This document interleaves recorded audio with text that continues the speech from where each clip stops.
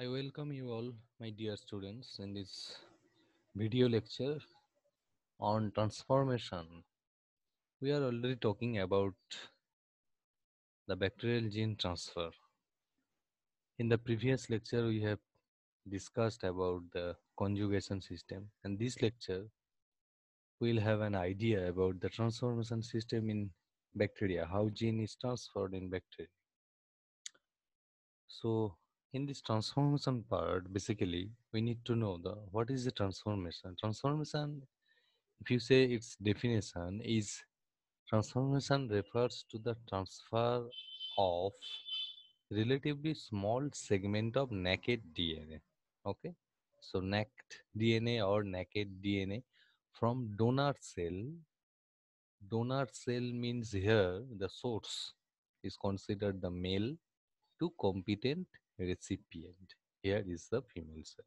So this is nothing but the transformation. So transformation means that you are transferring, you are transferring small amount of naked DNA. Naked DNA means uh, without the nuclear membrane or cell membrane is the open DNA.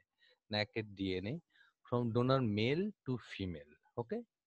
So if you consider the history, we hmm. already studied about this transformation in our school days also.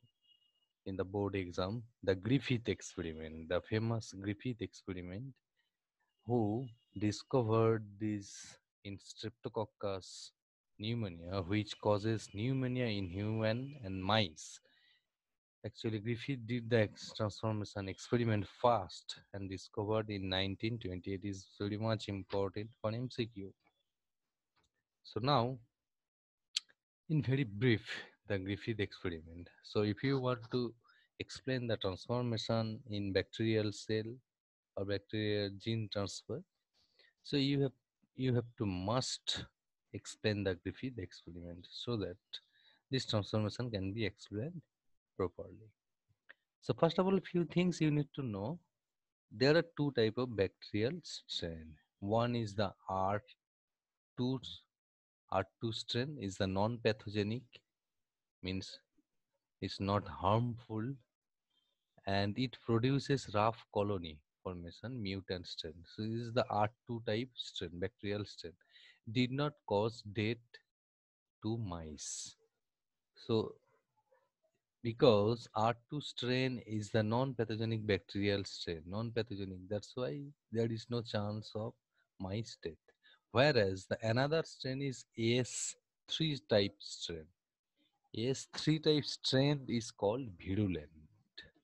This virulent cause death to mice. Okay, so this is very important thing. So there are two types of bacterial strain one is R2 is having non-pathogenic genes and S3 having the virulent or uh, pathogenic gene. Okay.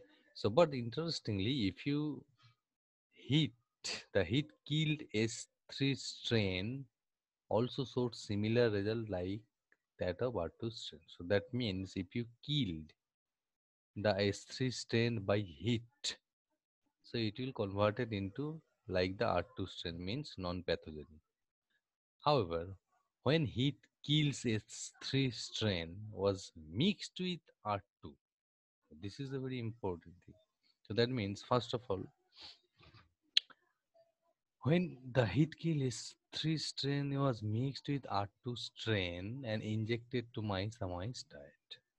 So see, individually R2 is the non-harmful, S3 is harmful, but when you heat and kill the S3, it will become like the R2 type, means non-harmful.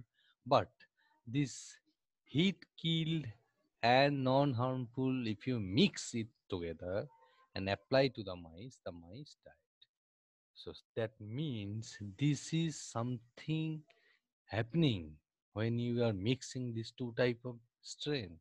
That means this induction in change of R2 strain was called transformation. That means when R2 strain comes with the connect of S3 strain due to induction or transformation, small amount of virulent gene is already inserted into the R2 strain and that's why the mice died. This is the all about the Griffith experiment. Okay. so later on, Avery MacLeod and McCarty 1994 conducted the experiment and demonstrated the heat-killed S3 strain transformed R2 strain into virulent form which causes death mice is already established. The transforming ability was not altered by treatment of S3 with enzymes or by RNase but was completely destroyed by DNase. So I'll discuss it later on in the uh, picture you can clearly understand. This finding showed the DNA has the ability to carry hereditary information. So now coming to the picture, if you see in the control, because these are the bacterial S type of bacteria, means the virulent having the virulent genes. If you insert, inject in the mice, the mice died. Okay.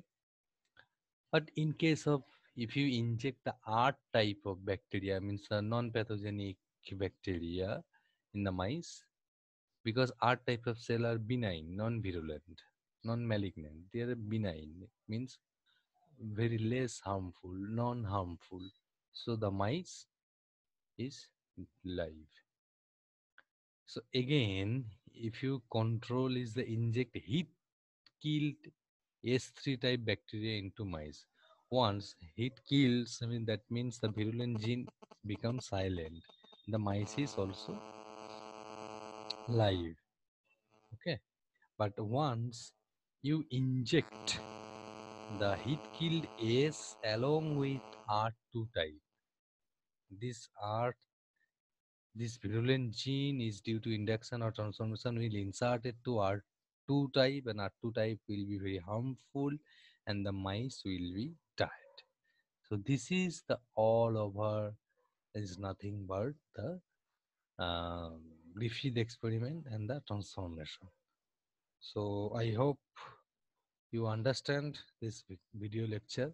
And the next is uh, later on the three uh, scientists who extended this experiment they actually did the mixture of dna and rna with RNase treat with the rna first mixture of dna and rna and treat with the RNase once rna is treated there is only dna remains and add this dna to the r bacteria r bacteria is the non-pathogenic bacteria on the LB media and then plate on the growth medium, LB medium. So there are colonies. That means the bacteria are alive.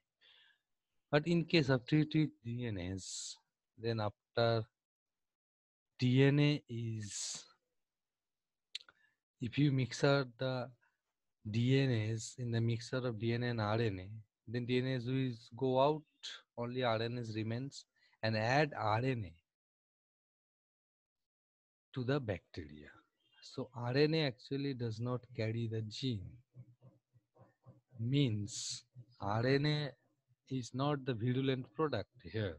So that's why if you culture on the medium, there is no S transformants because no S type of transformants because only it indicates only DNA contain the virulent gene, not the RNA if RNA contain the virulent gene, it might have uh, showed like the result like DNA here. Okay, so this is the overall transformation experiment in bacteria. Thank you for watching.